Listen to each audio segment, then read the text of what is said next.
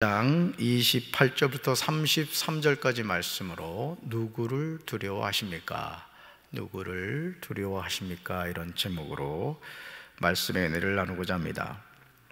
아무도 예수님을 믿지 않는데 나만 홀로 믿고 있다고 생각해 보시기 바랍니다. 예수님을 그리스로 고백하지 않는 사람들 앞에서 나는 그리스님을 주저하지 않고 당당하게 이야기할 수 있겠습니까? 아마 쉽지 않을 겁니다. 조선 땅에 처음에 복음이 들어왔을 때 사람들이 자신이 섬기던 신을 버리고 서양 신을 받아들이고 믿는다는 것은 보통 어려운 일이 아니었습니다. 여러분 일제 시대 때 우리 그 상투 머리를 머리카락을 잘라낸 것 때문에 스스로 목숨을 끊는 그런 우리 조상들이 많이 있었습니다. 왜냐하면 머리카락을 조상이 주신 것인데 부모님이 주신 것인데 어떻게 그것을 잘라낼 수 있느냐 이런 의식 때문에 그랬던 것이죠. 하물며 자신이 섬기던 신을 버리고 서양 신을 받아들인다는 것은 이게 쉬운 게 아니죠. 특히 조상에 관한 제사를 민속 고유의 풍속으로 여기던 상황에서 절대 어려웠을 것입니다. 그럼에도 누군가는 믿음으로 결단하였고 처음 그리스인이 된 후에 현재 대한민국에는 수많은 교회와 목회자와 성도들이 예수님을 믿고 있습니다. 그러나 지구촌에서는 여전히 예수님을 믿는다는 사실 때문에 목숨을 잃고 있습니다. 사랑하는 성도 여러분, 대부분이요, 오른 길로 가는데, 오른쪽 길로 가는데 나는 당당하게 왼쪽 길로 갈 수 있는 사람이 얼마나 되겠습니까? 그래서 사람들은 어쩔 수 없이 타협하려고 합니다. 그래. 나만 사는 세상이 아닌데, 나만 신앙생활 하는 거 아닌데, 좋은 게 좋지 뭐. 그래. 이번만 눈 질끈 감고 그냥 뭐 같이 가지. 이렇게 타협할 때가 많다는 것이죠. 6.25 전쟁이 난 후 적지 않은 사람이 공산당 앞에서 예수님을 부인하고 자신의 목숨을 건졌습니다. 그 이유는 살아서 예수님을 믿겠다는 거예요. 예를 들어 저같이 목회하는 목사는 그래도 내가 예수님의 초상화 잠깐 밟고 우리 성도들을 돌봐야지 내가 죽으면 우리 성도들 어떡하냐고 아주 적당한 핑계를 대면서 그냥 그 공산당 앞에서 예수님을 부인하고 저주하며 자기 한 목숨을 지켰던 것이죠. 일제 강점기 때도 마찬가지였습니다. 많은 목회자들이 동방요배를 하였습니다. 동방요배는 일본 신도에서 현인신으로 섬기던 일본 천황이 사는 동쪽을 향해 절하는 의식으로 조선 총독부는 1938년 2월에 이 의식을 한국 교회에 권고하였습니다. 그러니까 정해진 시간에 천황이 있는 동쪽을 향해서 뭐 한다는 거예요? 절을 한다는 거예요. 이것은 하나님이 미워하시는 우상 숭배였습니다. 그런데 놀랍게도요, 1938년 9월 9일 평양 서문박 예배당에서 개최된 제27회 총회에서 총대들이요, 이렇게 결을 합니다. 한번 같이 읽어볼까요? 신자 참배가 종교 행위가 아니기 때문에 기독교 교리에도 위배되지 않으며 단순한 애국적 국가 의식이므로 솔선하여 이행하기로 결의. 여러분, 이게 말이 됩니까? 기독교 교리에 위배되지 않아요? 신사참배가? 말도 되지 않는 거죠. 그래서 교회에서도 예배 시작 전에 천황 사진을, 천황 사진을 앞에 놓고 동방 요배를 해야 했습니다. 얼마나 충격적인 일입니까? 일본 천황을 신으로 섬긴 겁니다. 한국교회를 대표하는 한경직 목사님도 일제시대 신사참배에서 결코 자유롭지 못했습니다. 한경직 목사는 영락교에서 은퇴한 후에 1992년 6월 18일 종교계의 노벨상이라 불리는 템플던상을 수상을 했습니다. 템플던상을 축하하는 자리에서 한경직 목사는 다음과 같이 고백했어요. 먼저 나는 죄인임을 고백합니다. 나는 신사참배를 했습니다. 이런 죄인을 하나님이 사랑하시고 축복해 주셔서 한국 교회를 위해 일하도록 이 상을 주셨습니다. 나는 뭐 했다고요? 신사참배를 했다는 거예요. 한국의 성자라고 하는 한경직 목사가 일제 시대 때 신사침반을 했다는 것이죠. 한경직 목사가 자신이 죄인임을 고백하면서 자신이 일제시대 때 신사참배를 하였다는 것을 솔직하게 이야기한 것은 실로 대단한 일이라고 할 것입니다. 그럼에도 당시 분위기는 신사참배를 하는 상황이라 벗어날 수 없었던 거예요. 여러분, 이 시간 공산당이 기관단 총을 가지고 이 앞에 딱 서가지고 예수님의 성화를 바닥에 놓고 자, 지금부터 걸어 나와서 예수님의 초상화를 밟지 않는 사람은 바로 즉결 처형이다. 그런다고 칩시다. 여기 서 있는 저를 비롯해 여러분들 가운데 나는 죽어도 예수님의 초상화를 밟을 수 없다. 그럴 수 있는 분이 몇 분이나 되겠어요? 한번 자신을 생각해 봤어요. 과연 나는 그런 믿음의 고백을 가지고 신앙생활을 하고 있는가? 나는 내 목숨을 잃는다 할지라도 예수를 부인하지 않겠다. 이런 믿음의 결단을 가지고 계십니까? 신사는 일본에서 왕실의 조상이나 고유의 신앙 대상인 신 또는 국가의 공로가 큰 사람을 신으로 모신 사당입니다. 즉, 일본의 신도 신앙에 따라 일본 신들을 제사 지내기 위해 세워진 건물입니다. 일본 제국주의는 주권을 빼앗긴 우리나라에도 신사를 만들고 참배를 강요하기 시작했습니다. 특히 1930년대 이후에는 전국에 천 개가 넘는 신사를 세우고 참배를 강요했다는 거예요. 그러니까 우리나라 전역에다가 천 개가 넘는 신사를 만들어 가지고 그 동방요배를 하고 신사 참배를 하겠다는 거죠. 그렇다면 유일신 하나님을 믿고 섬기는 기독교는 어떻게 행동해야 되겠습니까? 당연히 신사 참배를 온 교회가 연합하여 반대해야 했을 것입니다. 그러나 이에 대해 기독교 내부에서도 의견이 나누기 시작했다는 거예요. 심지어 외국인 선교사들 사이에서도요, 의견이 달랐습니다. 정말 충격적인 사실은요, 우리가 잘 아는 1885년 4월 5일 저 인천 제물포항에서 아펜젤라 선교사 네와 함께 우리 조선 땅에 들어왔던 언도두 선교사가 뭐라고 얘기했냐면요. 친사 참배를 해도 된다는 의견이었다는 거예요. 조선 땅의 복음을 장로교를 대표해서 복음을 들고 왔던 선교사가 신사 참배를 해도 된다는 의견을 냈던 겁니다. 마태복음 10장 24절 이하에서 예수님은 제자들에게 이렇게 말을 해요. 두려워할 분을 두려워하라. 한번 읽어 봅시다. 두려워할 분을 두려워하라. 아멘. 누구겠어요? 하나님이시죠. 오늘 우리가요, 하나님을 두려워해야 됩니다.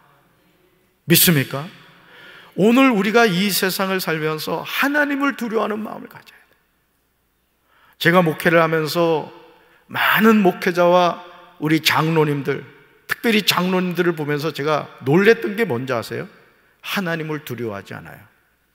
거짓말을 밥 먹듯이 하고 주의 종을 대적하고 교회를 마치 자기 무슨 개인 사업체인 것처럼 착각을 하고 말이죠. 따라서 하나님을 두려워하며 살겠습니다. 목회하는 저도 마찬가지입니다. 목사가 하나님을 경외하는 믿음이 없잖아요. 그거는 지옥불에 던져지는 거예요. 정말입니다. 저는 우리 성도들 가운데 한 분도 지옥 가는 영혼이 없게 되기를 주님의 이름으로 축원합니다. 주님의 이름으로 축원합니다. 제사, 제자가 스승만큼 되고 종이 주인만큼 된다면 기쁜 일이 아니겠느냐. 예수님이 제자들에게 반문하고 계십니다. 집주인인 나를 바알세분이라고 하였으니 너에게는 얼마나 더 심한 말을 하겠느냐. 신약 성경에서 바알세불은 악귀의 우두머리 사탄을 잃은 말인데 예수님을 사탄이라고 부른 거예요. 그러니까 여러분 여호와 증인도 예수님을 피조물로 보잖아요. 오늘 우리가 이 세상을 살면서 예수님 그분만이 우리의 구원자이신 줄로 믿습니다. 하나님이 죄인인 우리를 위해 구원자로 보내주신 분은 오직 예수의 예수. 그분이 뭐예요? 길이고 또 그분이 진리고 그분이 생명이라고요. 믿습니까? 이런 상황에서 예수님은 제자들에게 그러나 너희를 위협하는 사람들을 무소하지 말라고 당부하십니다. 진리가 드러날 때가 오면 그들의 더러운 속마음이 환히 드러나게 될 것이라고 말씀하세요. 내가 너희에게 어두운 데서 말하는 것을 너희는 밝은 데서 말하라고 하십니다. 너희가 귓속말로 듣는 것을 지붕 위에서 외치라고 하십니다. 주님이 주신 사명을 믿음으로 감당하라는 거예요. 따라합시다. 주님이 주신 사명을 믿음으로 감당하겠습니다.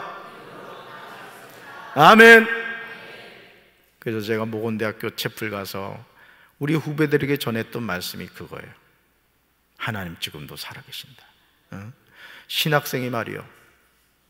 신학생이 교회에서 봉사를 해야지. 아르바이트를 한다고 세상에 교회 가서 헌신을 안 하면 그 신학생입니까? 그 제가 가서 후배들한테 얘기한 게 그거예요. 교회로 가라. 교회로 가서 현장에서 목회를 배우고 하나님을 만나고 어? 하나님께 쓰임 받는 목회자가 되어야 된다. 제가 그 얘기를 했습니다. 여러분 우리가 몸에 근육을 만들기 위해서도요 무거운 쇳덩이를 자꾸 이게 들고 운동을 해야 되잖아요. 영적인 근육도 마찬가지예요. 저 우리 사랑하는 성도 여러분들이 기도 많이 하시기 바래요. 기도하면 됩니다. 우리 인생은 기도하면 돼요. 하나님이 역사하시면 됩니다. 하나님께 붙잡힌 받는 인생이 돼야 된다고요. 믿습니까? 사랑하는 성도 여러분. 오늘 저와 여러분이 사는 주변을 살펴보시기 바래요. 온갖 사이비 이단이 하나님의 자녀를 미혹하여 지옥으로 끌고 가고 있습니다. 동성애, 차별금지법, 종교 다원주의, 이루 말할 수 없는 적그리스도적인 적그리스도적인 사상과 생각과 행동들이 무차별적으로 하나님의 자녀를 넘어지게 하고 있습니다. 하나님의 자녀인 저와 여러분이 정신을 차리고 깨어있지 않으면 어느 순간 우리는 미혹의 한가운데 서 있는 자신을 보게 될 것입니다. 군부대 안에서 동성애 행위가 이제는 버섯이 허용되고 있음을 여러분 아십니까? 상상할 수 없는 행동들이 인권이라는 이름으로 자행되고 있어요. 우리는 크게 외쳐야 된다고요. 그래서 지금 미국 UMC가 두 개로 나눠졌단 말이에요. 동성애를 인정하는 그룹하고 동성애는 하나님의 뜻이 아니다. 여러분 어느 게 맞아요? 성경 어디에 동성애가 맞다고 나와 있습니까? 하나님의 심판의 대상이에요. 여러분 소돔과 고모라 성이 왜 멸망한 줄 알아요? 동성애 때문에 망한 거야. 그래서 동성애라는 소돔이가 소돔성이라는 이름에서 나온 거예요. 소돔이. 그게 동성애란 말이에요. 기도해야 될 줄로 믿습니다. 따라합시다. 하나님이 아닌 것은 끝까지 아닙니다. 아멘. 정신 나간 목회자들이 말이야. 동성애를 옹호하고 말이야. 차별금지법을 옹호하고 말이야. 어? 이게 지금 정신이 없는 거예요, 목회자들도. 정신 바짝 차려야 돼. 믿습니까?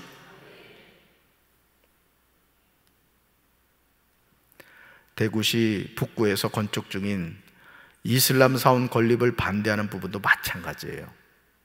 홍준표 대구시장이 기자 간담회에서 이렇게 주장을 했습니다.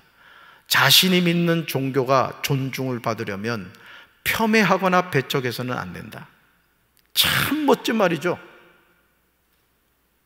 그렇다면 중동에서도 기독교를 인정합니까? 중동에서 기독교인인 것 들어가면 바로 쫓겨납니다. 바로 죽임을 당한다고요. 이슬람이 무엇을 노리고 있는지 우리는 바로 알아야 됩니다. 이슬람이 추구하는 것은요, 한 손에는 코란, 한 손에는 칼이에요. 이게 무슨 말이냐? 코란 이슬람교를 받아들이지 않으면 칼로 응징하겠다는 거야. 여러분 이슬람인들 보세요. 평화의 종교? 웃기는 소리 하지 말라 그랬어요. 9.11 테러. 여러분 IS. 여러분 그 모든 분파가 어디요? 이슬람이 이슬람 여러분. 테러 조직의 거의 배우가 이슬람입니다. 평화의 종교 아닙니다. 교수들 가운데 나와가지고 유튜브에서 뭐 이슬람교를 미화하고 말이죠. 속지 마십시오. 그들의 음흉한 그 본색에 속지 말라고. 우리 대한민국 자매들 가운데 그 이슬람 그 남자들하고 결혼하는 자매들이 있어요. 근데요, 이슬람은요, 일부 닫혀집니다. 한국에 왔는데 허물떡하게 생겼어. 고똑하고 눈 시커멓고 어? 잘생겼어요 사실은. 동남아에서 온 친구들 뭐 방글라데시나 저 파키스탄 이렇게 오는 친구들 봐봐. 아주 이목구비가 뚜렷해. 저보다는 좀 못생겼지만은 하여간 그렇다고. 그러니까 호감이 가는 거야. 그리고 이제는 우리 한국 자매들도 의식이 말이죠. 외국인들하고 결혼하는 것에 대해서 그렇게 불편함을 느끼지 않는다고요. 아 그래가지고 괜찮아서 총각인 줄 알고 척척 결혼해서 파키스탄 가고 저기 중동을 갔더니 웬걸 형님들이 그냥 떼거지로 있는 거야. 그러니까 여러분 여권 뺏기고 거기서 폭행당하고 결국은 인생 쪽나는 겁니다, 여러분. 저는 우리 사랑하는 성도 여러분들이 이 험한 세상을 살아갈 때 이런 영적 분별력을 가지게 되기를 주님의 이름으로 축원합니다. 종교의 자유 운운하는 사원 공사장과 인접한 경북대학교에서요. 학생과 교수, 시민단체 관계자 등이 모여서 이슬람 사원 건립을 지지하는 문화제를 약 2시간 동안 진행했다는 거예요. 그러니까 여러분, 좋은 게 좋은 게 아니에요. 오늘 우리가 바른 신앙을 가진다는 것은 뭐냐? 성경이 아니라는 것은 죽어도 아닌 거예요, 죽어도. 우리가 이 신앙을 포기하면요, 저 미국하고 유럽처럼 기독교는 끝나는 겁니다. 여러분 하나님이 가장 싫어하는 게 뭐예요? 타협하는 신앙이라고. 그래서 우리 신학생들이 신학을 공부할 때 하나님을 정말 두려워해야 돼. 성경 많이 읽어야 된다고. 아멘. 성도 여러분들 마찬가지야. 아까 신하나 권사님 일독한다 그랬지? 연말에 꼭 검사 받아 나한테. 음. 이게 신집사님만, 아, 신권사님만이 아니에요. 여러분도 1년에 최소한 5독은 해야지. 예. 어째 아멘이 없어. 사랑하는 성도 여러분, 오늘 자기 신앙을 지켜간다는 것이 쉽지 않아요. 정신 나간 목회자들이 동성애를 지지하고 차별 금지법을 지지하고 종교다원주의를 지지합니다. 여러분, 종교다원주의 참 매력적인 겁니다. 여러분, 하나님을 배척하는 문화는요, 매력적이에요. 정말 매력적이에요. 여러분, 종교다원주의가 뭐예요? 포스트 모더니즘이라고. 이게 무슨 말이냐면은 모든 산의 정상에 올라가는 방법은 여러 가지라는 거야. 그러니까 기독교를 믿든 불교를 믿든 유교를 믿든 신천지를 믿든 하나님의 교회를 믿든 뭐, 뭐 여호와 증인을 믿든 몰몬교를 믿든 다 산꼭대기에서 뭐 한다? 만난다 이 얘기예요. 그러니까 구원의 길은 예수만이 아니라는 거야. 말이 돼요 안 돼요? 절대 아니지 절대. 어떻게 구원의 길이 여러 가지 길일 수 있냐고. 예수님이 직접 말씀하셨잖아요. 내가 곧 길이요, 또 진리요, 또 생명을. 영어 성경을 보면 그 앞에 정관사 더가 들어가 있다고. 그 길밖에 없고, 그 진리밖에 없고, 그 생명밖에 없다는 거예요. 믿습니까? 이런 때에 오직 예수, 오직 성경을 주장하면 시대에 뒤처지는 외계인으로 취급받기 쉽습니다. 그러나 우리 신앙은 타협할 수 있잖아요. 그러므로 마태복음 10장 28절에서 예수님은 우리에게 분명하게 말씀하십니다. 우리 같이 읽습니다. 몸은 죽여도 영혼은 능히 죽이지 못하는 자들을 두려워하지 말고 오직 몸과 영혼을 능히 지옥에 멸하실 수 있는 일을 두려워하라. 아멘. 지금도 예수님을 믿는다는 사실 때문에 목숨을 잃고 생활에 불이익을 당하고 고통을 당하는 그리스도인들이 세계 곳곳에 산적해 있습니다. 우리나라처럼 이렇게 편안하게 신앙생활 할 수 있는 것이 축복이에요. 얼마나 좋습니까? 에어컨 바람 이렇게 시원하게 나오고 조명도 극하게 비춰주고 찬양도 또 은혜롭게 이렇게 해주고 얼마나 좋아, 얼마나 좋아. 어? 코로나19 통해서 우리가 깨달은 게 뭐야? 우리가 늘 예배 드릴 수 있는 게 이게 당연한 게 아니었구나, 이걸 깨달았잖아. 예? 문재인 정부가 말이야, 교회에 모이지 말라고. 그래가지고 정권이 바뀐 거예요, 그래가지고 정권이. 시건방 떨다가. 아니, 하나님의 교회가 예배를 폐하면 돼야 안 돼요? 절대 안 되지. 여러분, 우리는 하나님의 말씀에 순종해야 될 줄로 믿습니다. 할렐루야! 안타깝게도요. 우리는 이런 축복을 너무 당연하게 여깁니다. 무가치하게 취급하곤 하는 거예요. 이제 우리는 우리의 몸은 죽일지라도 영혼은 죽이지 못하는 일을 두려워하지 말아야 할 줄로 믿습니다. 영혼도 몸도 둘 다 지옥에 던져서 멸망시킬 수 있는 분을 두려워할 줄로 믿습니다. 얼마나 두렵고 떨리는 말씀입니까? 영혼도 몸도 둘 다 지옥에 던져서 멸망시킬 수 있는 분이 누구십니까? 살아계신 하나님이신 줄로 믿습니다. 그래서 여러분, 우리가 어떤 사람들은 예수 천당 불신 지옥 이거 외침에 대해서 부정적으로 얘기하는 분들이 있습니다만은 예? 성경을 보면요. 그거보다 또 정확한 복음이 없어. 예수 믿으면 천당 가고, 안 믿으면 지옥 가고. 따라합시다. 예수 천당. 불신지옥. 믿습니까? 신명기 7장 16절에서 모세는 이스라엘 백성들에게 신신당부하고 있어요. 말씀 같이 읽습니다. 내 하나님 여호와께서 내게 넘겨주신 모든 민족을 내 눈이 극률히 여기지 말고 진멸하며 그들의 신을 섬기지 말라. 그것이 내게 올무가 되리라. 아멘. 하나님이 약속한 땅 가나안에 들어가서 이스라엘 백성이 해야 하는 일은 그 땅에 사는 모든 민족을 내 눈이 극률히 여기지 말고 진멸하라는 거예요. 이 진멸하라는 것은 완전히 씨를 없애버리라는 거예요. 그 이유는 그들이 섬기고 있는 신 때문입니다. 그 신이 그들에게 올무가 된다는 거예요. 오늘도 우리가 타협하는 신앙생활을 하면 어떻게 됩니까? 하나가 두 개가 되고 두 개가 세 개가 되고 나중에는 뒤죽박죽이 되어가지고 내가 예수를 믿는지 귀신을 믿는지 모르게 되는 거예요. 여러분 예수 믿는 사람은 똑 부러지게 신앙생활 해야 될 줄로 믿습니다. 하나님이 아닌 건 죽어도 아닌 거예요. 이 신앙을 내려놓는 순간 우리는 타협하는 변질된 신앙인이 되고 만다는 것이죠. 사랑하는 성도 여러분, 우리를 향한 하나님의 관심이 어느 정도입니까? 마태복음 10장 30절에서 예수님이 이렇게 말씀하세요. 같이 읽습니다. 아버지께서는 너희의 머리카락까지도 다 세워놓고 계신다. 아멘. 아버지께서는 너희 머리카락까지도 다 세워놓고 계신대요. 우리의 머리카락까지도 다 세워놓고 계신 하나님이 우리를 먹이시고 입히시고 돌봐주시지 않겠습니까? 여러분 그 하나님을 믿으십니까? 그 하나님이 여러분의 아버지인 거 믿으세요? 여러분의 믿음대로 될 줄로 믿습니다. 그래서 우리가 하나님을 향한 믿음을 가지면 하나님은 지금도 역사하시고 하나님은 지금도 일하시는 줄로 믿습니다.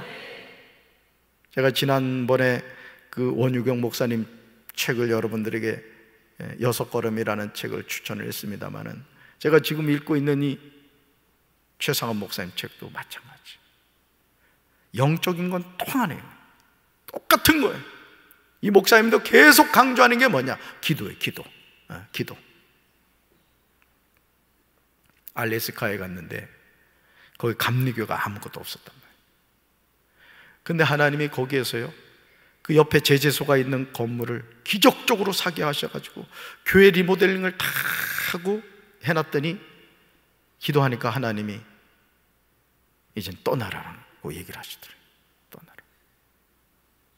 그래가지고 미국 벤츄라는 지역에 갔는데 거기서는 한인들이 몇 명 살지도 않아요. 가봤더니 뭐 45명인가 뭐였더라는. 근데 거기 가서 또 하나님께 기도하고 기도하고 기도했더니 그 벤츄라시에서 제일 큰 교회가 됐다는 거예요. 우째 아멘이 없어. 한인이 몇 명 모이지 않는 그런 지역에 가서도 하나님께 기도하고 하나님 의지하면서 믿음으로 사역했더니 벤츄라시에서 가장 큰 교회가 됐다는 거야. 여러분, 우리 교회가 외국에 있습니까? 우리는 둘러봐도 다 한국 사람이야. 기도하면 하나님이 보내주실 줄로 믿습니다. 강경이 기가 막힌 지역이라니까. 익산이 붙어 있지. 부여가 붙어 있지. 논산이 붙어 있지. 연무가 붙어 있지. 센터에 강경이 있단 말이야. 구름대 같이 보내주실 줄로 믿습니다. 하나님 살아계시단 말이야. 우리가 믿음으로 간구할 때 하나님이 역사하실 줄로 믿습니다. 그러므로 이제 우리는 사람 앞에서 예수님을 시인하며 살아야 됩니다. 나는 예수님을 믿는 사람이라고 당당하게 고백해야 될 줄로 믿습니다. 자신의 목숨을 살리겠다고 불의와 타협하면 우리 영혼은 지옥 가요. 여러분이 사업을 하든지 직장 생활을 하든지 여러분 시퍼렇게 살아계신 하나님 그 하나님을 의지할 때 여러분에게 물권의 복과 영권의 복과 인권의 복을 주실 줄로 믿습니다 하나님을 인정하는 만큼 하나님이 우리 삶에 역사하는 거라고 믿습니까? 그래서 여러분의 자녀들에게 그 믿음을 자꾸 심어주란 말이야 너는 하나님이 크게 쓰실 너는 하나님이 함께하는 귀한 자녀라고 선포해 주시기 바래요 오직 몸과 영혼을 능히 지옥에 멸하실 수 있는 하나님을 두려야 돼. 이 세상에서 우리가 두려워할 분은 누구밖에 없다? 하나님밖에 없어요. 참새 두 마리가 팔리는 것도 하나님의 허락 없이는 불가능하듯이 하나님의 자녀는 참새보다 귀한 줄로 믿습니다. 이제 우리는 마태복음 10장 32절과 33절 말씀을 암송하면서 나가야 돼요. 우리 말씀 같이 읽습니다. 누구든지 사람 앞에서 나를 시인하면 나도 하늘에 계신 내 아버지 앞에서 그를 시인할 것이요. 누구든지 사람 앞에서 나를 부인하면 나도 하늘에 계신 내 아버지 앞에서 그를 부인하니라. 아멘. 여러분 어떤 삶을 살겠어요? 사람 앞에서 예수님을 부인하는 삶을 살겠습니까? 아니면 사람 앞에서 나는 예수 믿는 사람입니다. 예수 믿고 구원받았습니다. 당신도 예수 믿어야 됩니다. 이런 예수님을 전하는 사명자가 되시겠습니까? 아니면 교회에서는 믿음 있는 척, 은혜가 있는 척 하다가 세상 밖에 나가서는 입 싹 닫고 예수 안 믿는 척 그렇게 살아가시겠습니다. 저는 우리 사랑하는 성도 여러분들, 나는 하나님 믿는 사람입니다. 나는 예수님을 믿는 사람입니다. 성령님이 지금 나와 함께 하십니다. 이런 믿음의 장보가 되어서 여러분 주교원을 복음으로 변화시키고 여러분 가정이 인가기도 되고 여러분의 삶에 하나님의 은총과 축복이 함께하기를 주님의 이름으로 축원합니다. 가슴에 손 얹겠습니다. 하나님 아버지, 오늘 우리는 누구를 두려워하며 살고 있습니까? 하나님 외에 우리가 두려워할 리가 누가 있겠습니까? 주님, 저희들에게 믿음을 더하여 주셔서 하나님의 말씀대로 순종하며 살아가게 도와주옵소서.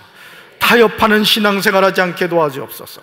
동방요배하고 신사참배했던 많은 목회자와 성도들처럼 되지 않게 도와주시고 끝까지 예수님만 믿으며 생명의 를 걸어가는 우리 사랑하는 성도들 되게 하옵소서. 이제는 우리 주 예수 그리스도의 크신 은혜와 하나님 아버지의 한없는 사랑과 성령님의 교통하심이 오직 하나님만을 두려워하며 오직 예수, 오직 믿음, 오직 기도 믿음의 선포를 하며 살아가기 원하는 사랑하는 주의 백성들 위해 이제부터 영원토록 함께 하시기를 간절히 축원하옵나이다. 아멘.